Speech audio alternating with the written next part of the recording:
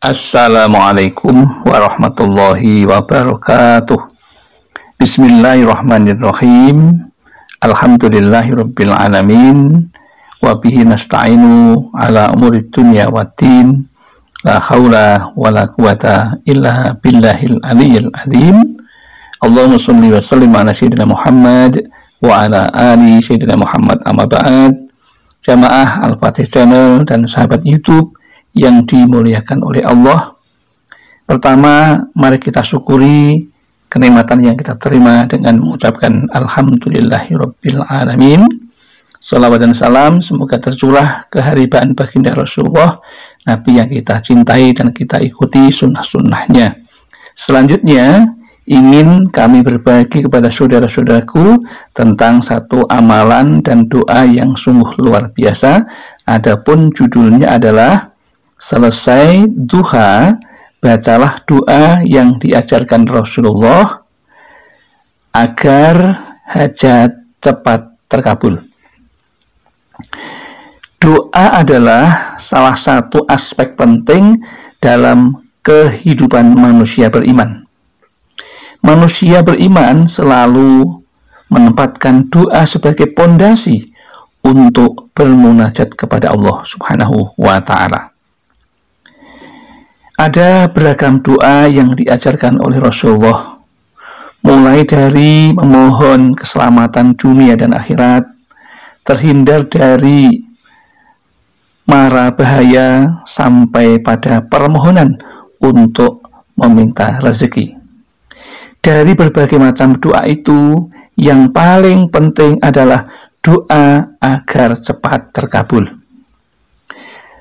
Salah satu cara yang terbaik dan waktu yang terbaik untuk melakukan munajat atau berdoa kepada Allah adalah setelah selesai melaksanakan sholat duha.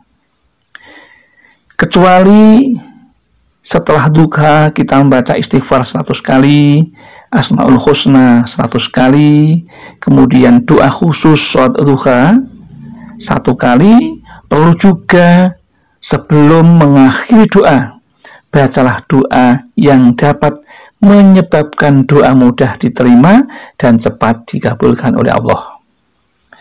Ternyata Rasulullah Shallallahu Alaihi Wasallam sudah mengajarkan satu doa yang jika dibaca doa tersebut seorang hamba akan cepat dikabulkan doa dan hajatnya. Untuk itu perlu disimak baik-baik apa yang telah disampaikan oleh Rasulullah berikut ini. Dinyatakan dalam satu hadis dari Buraidah bin Hasib radhiyallahu anhu bahwa Rasulullah pernah mendengar ada orang yang membaca kalimat yang ingin kami sampaikan ini kemudian beliau bersabda menyebutkan keutamaannya walladhi nafsi biyadihi laqad sa'alallaha bismil a'zami alladhi idza tu'iya bihi a'ta yang artinya demi Allah zat yang jiwaku berada di genggamannya sungguh orang ini telah meminta dengan ismul azam atau nama Allah yang paling agung di mana untuk seseorang yang berdoa dengan nama itu maka doanya akan diijabai dan apabila dia meminta kepada Allah dengan menyebut nama itu maka dia akan diberi.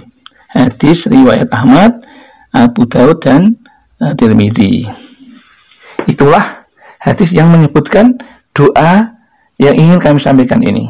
Lalu Tas seperti apakah doanya? Doanya adalah sebagai berikut Bismillahirrahmanirrahim Allahumma inni as'aluka bi anni asyhadu annaka antallah la ilaha illa antal ahadus somatul ladzi lam yalid wa lam yurad wa lam yakul lahu kufuwan ahad.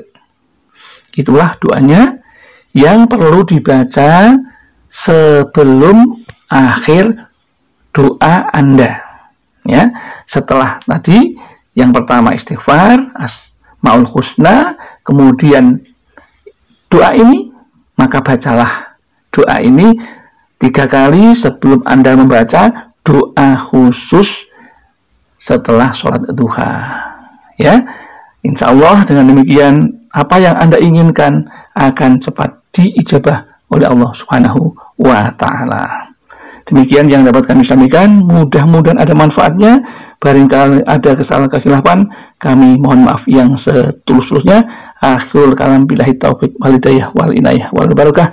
Assalamualaikum warahmatullahi wabarakatuh.